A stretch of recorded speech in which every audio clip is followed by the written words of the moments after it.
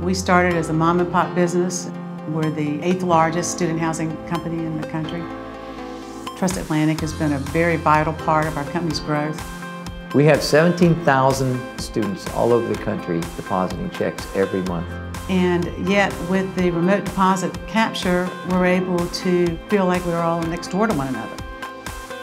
I'm Donna, And I'm Kirk. and this is our bank.